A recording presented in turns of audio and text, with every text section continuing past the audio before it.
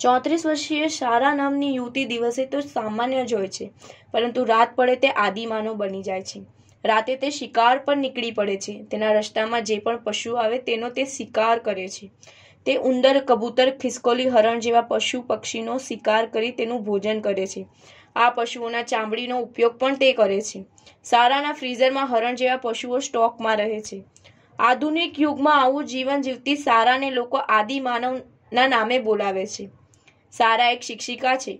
તે સ્કૂલમાં બાળકોને ઇતિહાસ વિષયનો અભ્યાસ કરાવે છે. સાથે જ બાળકોને સર્વાઈવલ સ્કિલ પણ શીખવાડે છે.